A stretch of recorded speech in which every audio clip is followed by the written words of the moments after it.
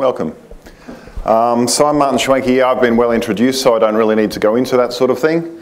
I would note that there are three other very good talks on at this time, so if you found yourself in the wrong place or you think that testing will be thrilling, um, you might like to reconsider. Three, two, one, thank you. Um, and this is Ronnie. Hi there, Ronnie Sahlberg. I work with Martin and we work on this really cool piece of software to, big, to build really, really big and massive servers.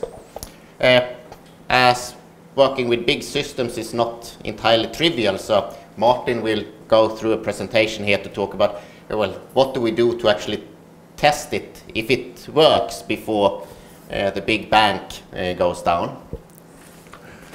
Okay, and yeah, we both work for IBM at the Linux Technology Center and we have a lot of fun and there are a lot of penguins.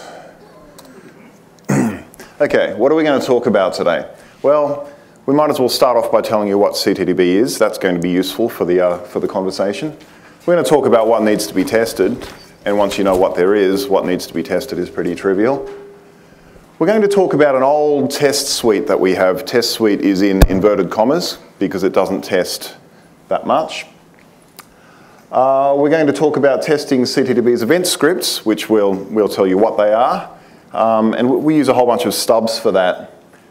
Um, and then we're going to talk about CCAN style tests for the C parts of CTDB, which is most of it. And um, give a couple of examples. We're going to mention AutoCluster, which is a cool for generating uh, clusters of virtual machines on your laptop or on a hopefully on a real, um, on a nice server. And we'll talk about performance testing with dbench. Ronnie, what is this CTDB thing? Yeah, ctdb.samba.org is the homepage. It's open source. Basically, it is a very, very, very fast but lossy cluster database that's used to store server uh, metadata or in the internal server state for, for example, Samba. Samba needs to keep track of lots of stuff inside memory, but then when you spread Samba across a cluster of, say, 20, 30, 40, 100 nodes, it's really important that all the Samba processes, well, they agree on what the current state is. And that is the main part, part of CTDB, to provide a clustered version of this trivial database that Samba uses for the internal server state. We use it to build all active multi-node clusters. As you saw in some earlier presentations, who has a server with four terabyte of memory? We do. Spread across, well, more than one uh, motherboard, of course.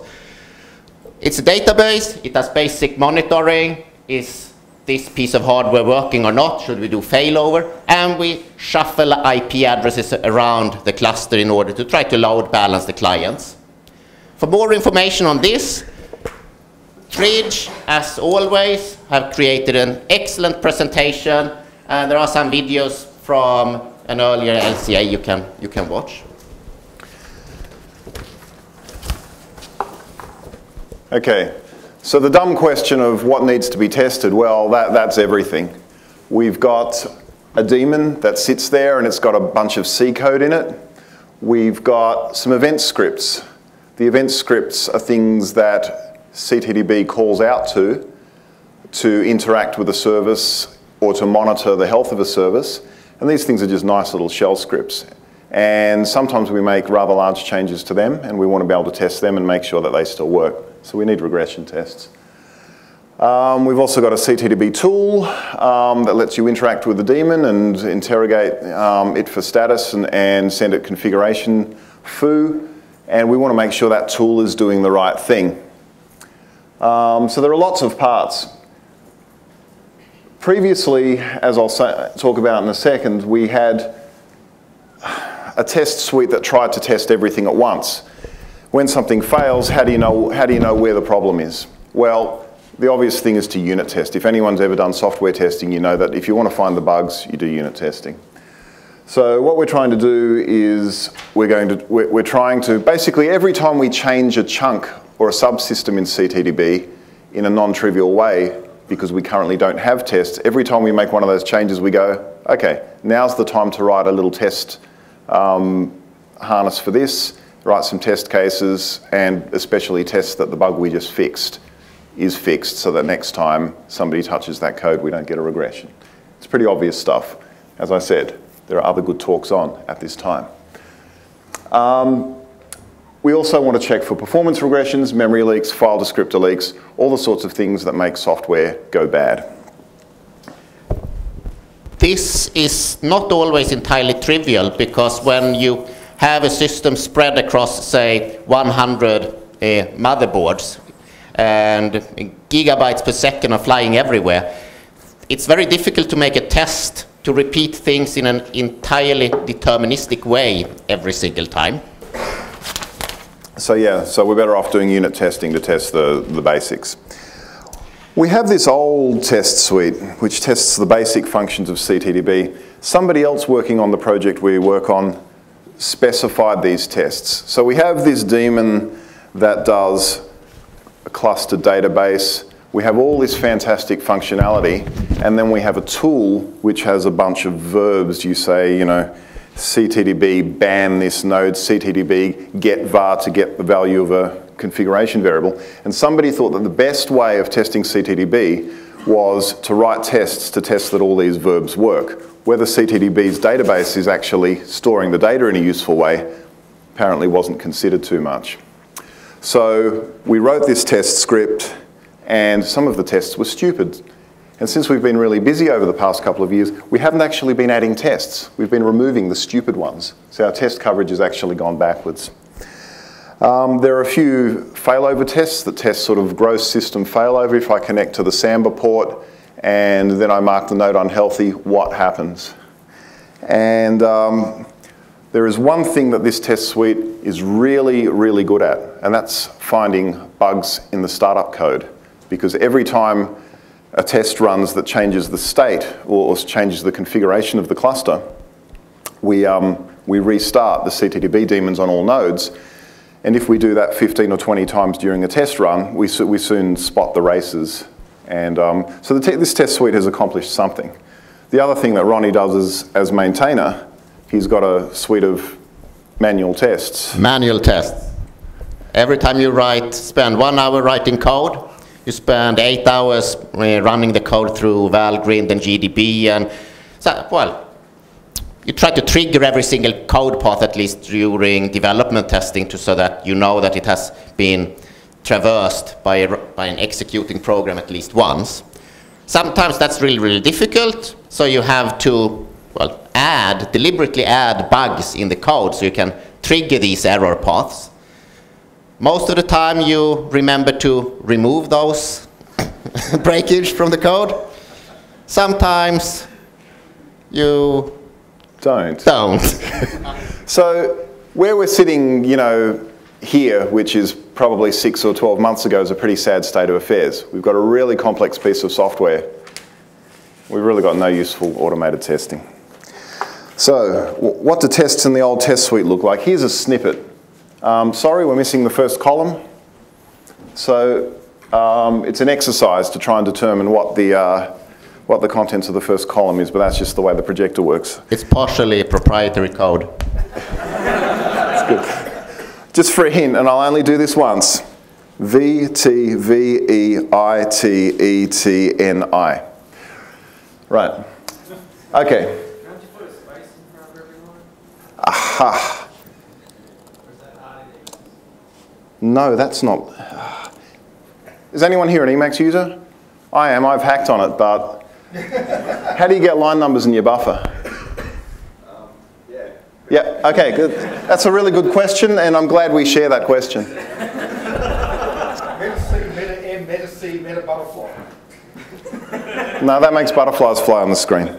Okay, so it's, our tests, and all of our new tests are shell scripts, apart from the things that actually need to call into C code, because they're easy to hack. And also that means we need, we've got no infrastructure. If our tests are a shell that comes with the operating system, then we can do an install and we can do a test on a, on a new install. There may be better options. We get the, we get the um, value of a configuration variable called recover timeout. We know it's numerical, so we add one to it, we set it, we get it back, and we make sure that it's what we stuck in there. It's a pretty dumb test, right? But it tests something. Um, and we can, we can run that test and a bunch of others.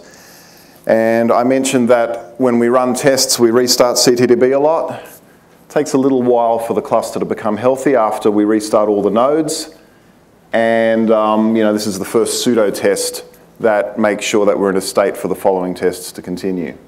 So, you know, after about another 10 more dots, you're going to bet on 10, 11, 12 dots.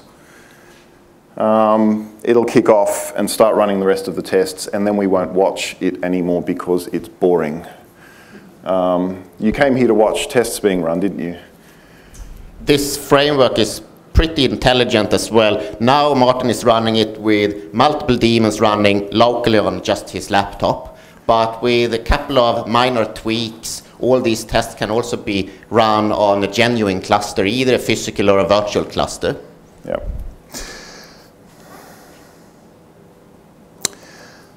Alrighty. Event scripts.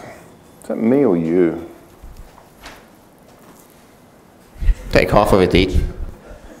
It's me, isn't it? Oh, Yeah. I can't remember. Okay, event scripts. Okay, so these are just shell scripts. And the first argument tells, it's what it, tell, tells the script what it's doing. We'll have a look at an example in just a minute. They monitor the health of a service or something to do with something important for doing uh, NAS, such as the, your network interfaces. Um, and you know, how do you, how do you test that? Well, there are a lot of system commands, so you just write a lot of stubs for all of those commands. That seems like a good idea. And event scripts use the CTDB command line tool as well, so we write a, an enormous, horrible stub version of that, and we fake up state when we do our setup. It's the ugliest thing you've ever seen. It'll get better in the future. So we've got all these event scripts. They're pretty complex bits of shell code. Um, I rewrote hundreds of lines of this stuff. We had no tests. What to do? Well, make some changes to the event scripts and um, write, write some tests. So the whole idea is that for all of these system commands, you write a complete, no, you don't write a complete re-implementation when you're doing stubs, do you? No. You only implement the parts that are interesting for your tests. And that's what I thought about this talk. oh, you're not leaving? Uh, How do you make sure that you're not running unstuck versions of things? then the tests will fail. Yes. Ah, sorry, something I meant to mention. Well, we'll see.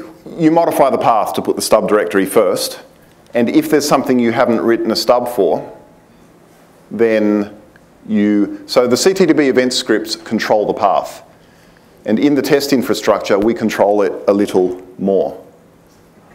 Now, the whole idea of all this unit testing is, the first one thing I meant to mention about the old test suite is that it has to run as root, because you have to be running CTDBD. One thing about this is we want developers to be able to type make test, run the whole regression test suite. It's not set up like this yet, but you run the whole regression test suite as you, as you, the developer, and you know, it can stop at the first failure. So, and the, the good answer there is that if you end up using a non-stub version of some command because none has been written, then A, the test should fail, and B, because you're running as yourself, you haven't destroyed your system. You might only destroy your own data. So there's no real smarts in there for that. Okay, this is the world's simplest event script. The first argument to the event script indicates the type of event. If we're starting up CTDB, we run CTDB service start. If we're shutting down CTDB, because CTDB is managing this service, we run CTDB service stop, and there are some configuration variables and functions that tell it what to do for each of these. And then for monitor, we just check a Unix domain socket. And if the socket either isn't there, see, I don't know right now what CTDB check Unix socket does. But if, it just, if it's checking for the existence or it's checking that netstat conceit or something, if that fails, we exit with one, the event script monitor event fails, CTDB on this node gets marked as unhealthy, we fail IPs off this node onto other nodes. So simple health checking, very simple event script. Uh, next, no, you hit that key. Okay, so here's a snippet of one of our event scripts. Well, it's the editor looking at one of our event scripts. And this checks the health of interfaces. How do you do that? Well, that's pretty boring. You run ethtool against, on, against the interface, and if you see the string link detected colon yes, or link detected colon s, it's meant to be a Y there. That's an important feature here. Then everything's okay. Otherwise, you know, you try harder and finally you say error, no link on the public network interface. So not terribly interesting. But this one thing about the test cases, so this is one of the test cases, D, You'll get it. One thing about the test cases is that they are nice and self-contained. There's a bunch of helper functions and we do set up CTDB which fakes a whole lot of state. We and, and it sets up a bunch of interfaces. We don't know what they're called, so we, we write a function that gets one of them. We mark it as down. And then when we run our event script with the monitor um, event, we're meant to get an exit status of one and that error. That's pretty, uh, pretty simple. So how do we fake ethtool? That's the whole script, right? We don't need any more of ethtool than that. When we mark the interfaces down, it creates a really stupid flag file that means this interface is down. If it exists, link um, detected is no, otherwise link detected is yes. Um,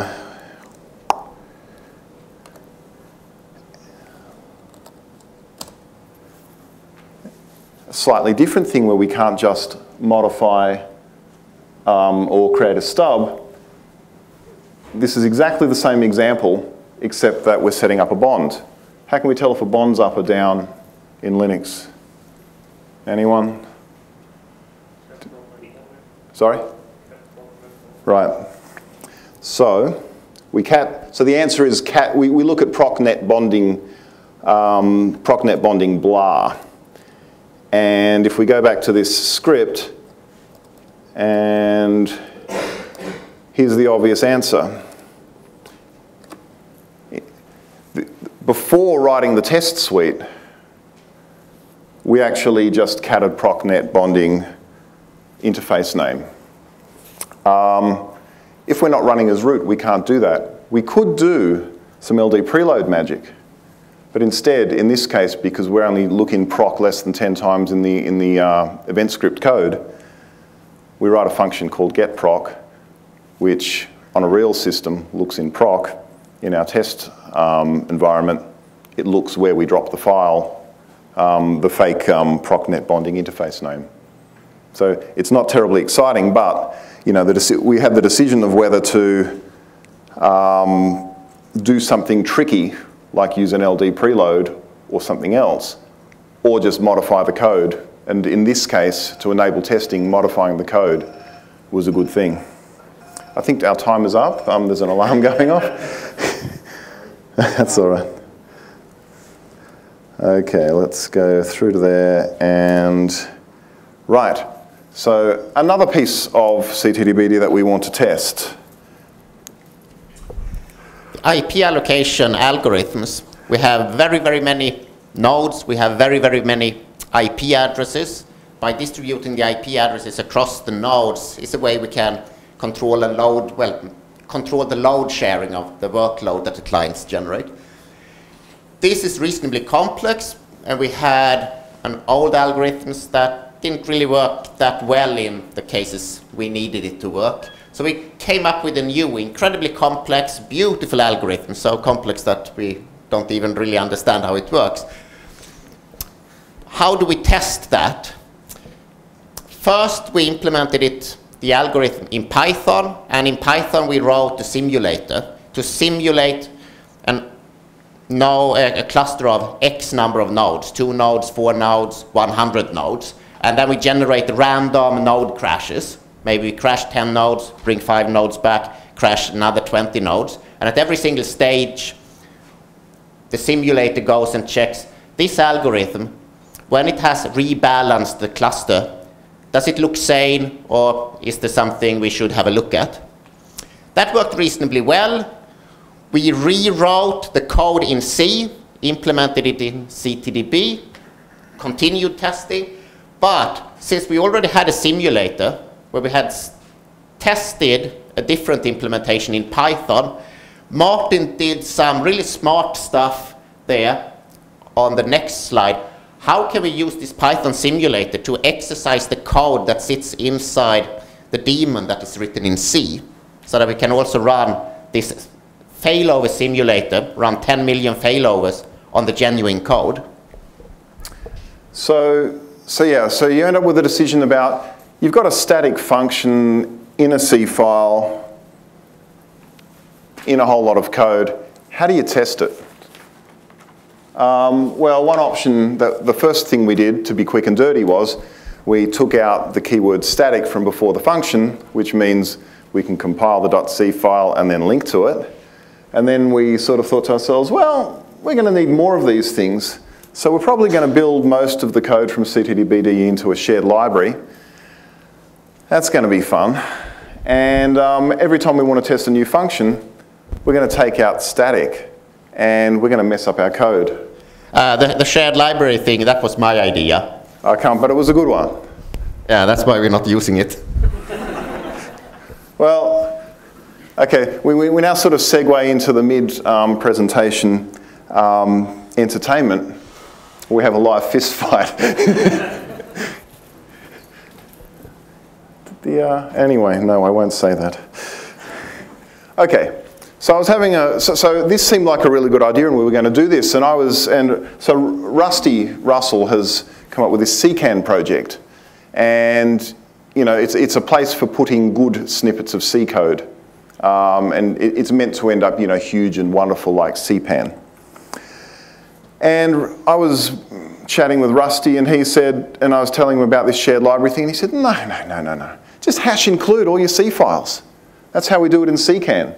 It's a really cool idea. You, you can access your static functions for free. Of course, if you have the same static function in two C files or a different Im implementation with the same name because you don't have, you know, because you've got nice lazy naming conventions as most of us do, you try to hash include all that C code and you get a compile error. So you spend a couple of days cleaning those up. They're, they're pretty easy. There, there wasn't that many of them. And um, then you can hash include a few little C files so that you can um, run your examples. Um, and it was really easy to write a test case for the first bug that got reported back to us in the new um, algorithm. So let's have, a, let's have a quick look.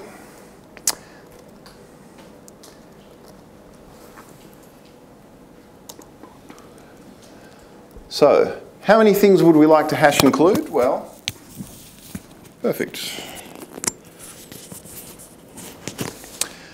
How many things do we need to include? Well, you include the standard stuff that you include at the top of CTDB um, files. And then there's some stuff out of the file that includes main um, that we haven't quite cleaned up.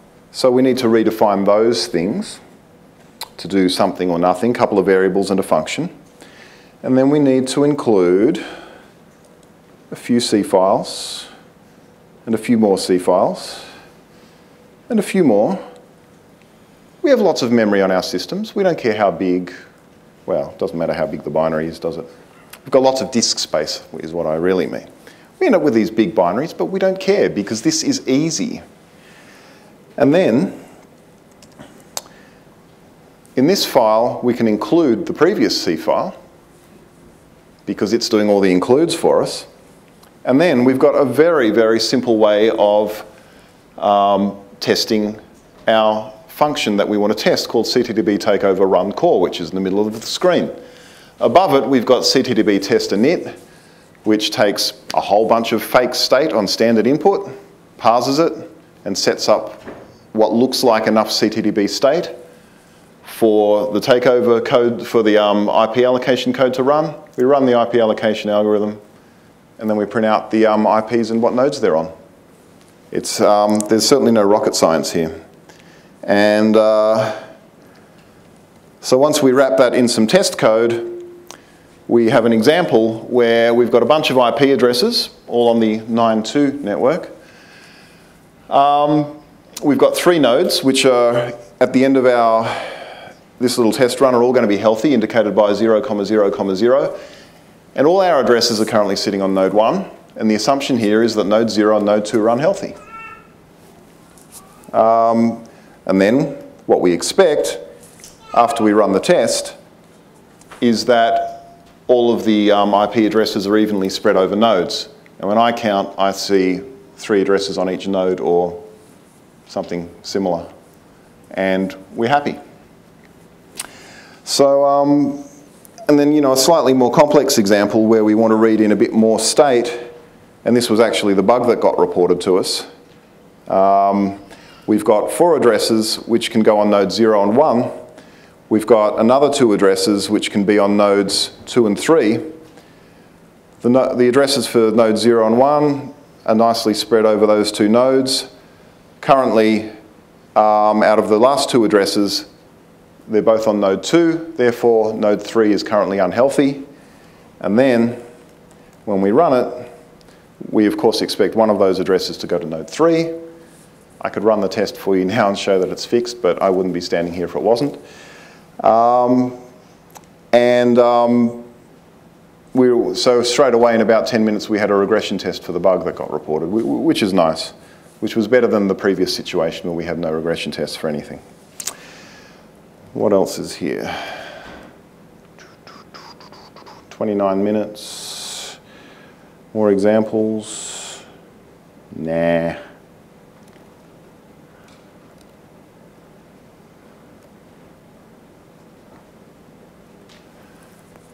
Should we talk about libctdb? Do we have time? Should we discuss it in front of people? No. No. Okay. Go with AutoCluster. cluster is a brilliant piece of software that is useful, not just for this, but for any time where you want to create a cluster and you only have like 25 seconds to configure, reinstall Linux, configure everything up and boot them. That's when you want auto cluster, a brand new cluster like that.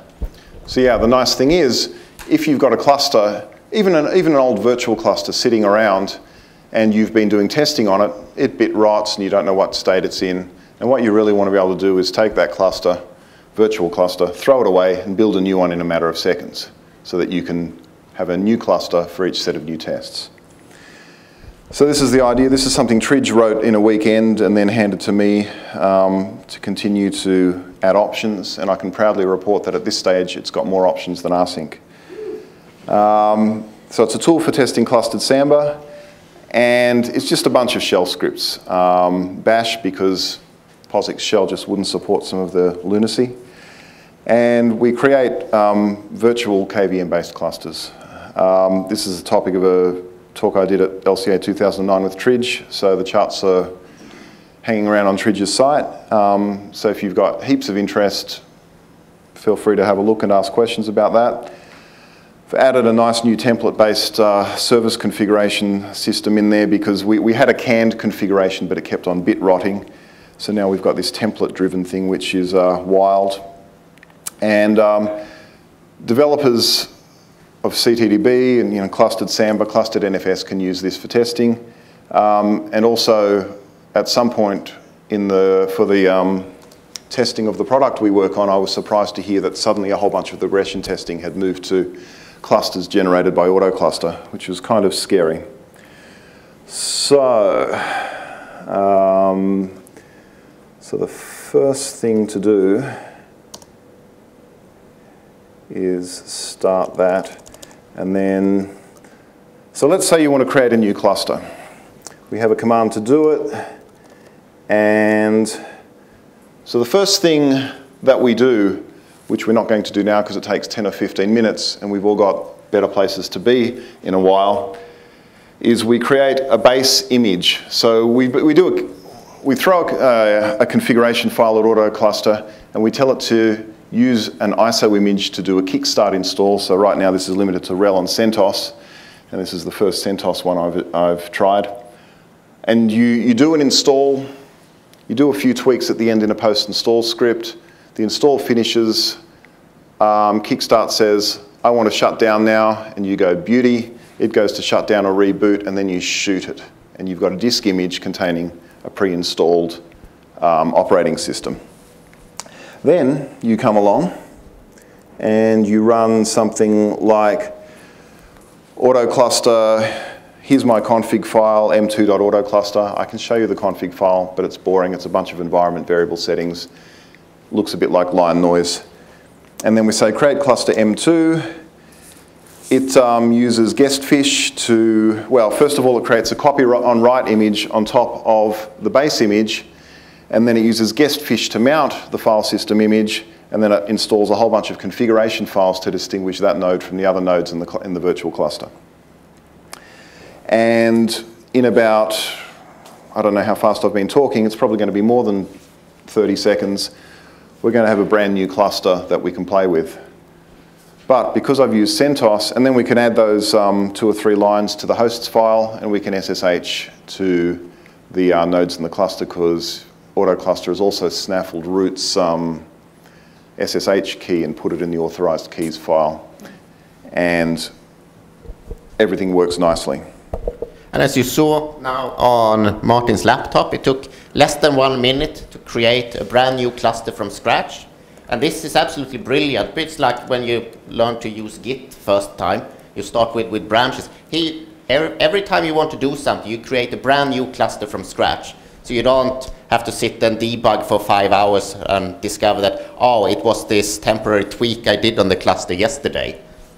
Instead, you destroy the cluster, you create a new cluster, you do your stuff, and every single time you do something new, it takes less than a minute to create a brand new cluster that is in a guaranteed known state. Absolutely brilliant stuff. You should use it. And, well, the other place this is really good, and you can write well, say you wanted to write a build system and you wanted to auto build the piece of software that you work on, or you just want to test it and you just want one node. Well, this is a hammer. So, you know, you can figure out how to drive libvirt or KVM or whatever yourself, but this thing creates one node clusters really nicely as well. Um, so instead of trying to configure the cluster that we just played with and make sure that CTDB is installed and all that junk, here's one we prepared earlier and we can run we can run you know the tests we ran earlier but this time instead of running three CTDBDs on my laptop I've got two virtual machines each, each is running CTDB they actually talk you know they talk over the virtual ethernet and um, eventually the cluster should become healthy and we should see tests starting to be run. Now, is that the...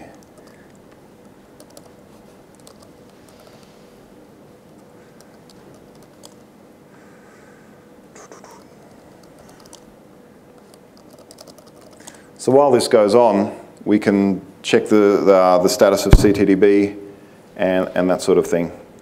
And now, you know, the cluster should be healthy and, you, and, our, and our really boring old test stuff that requires root to run runs on our cluster and uh, run, runs all of its little tests.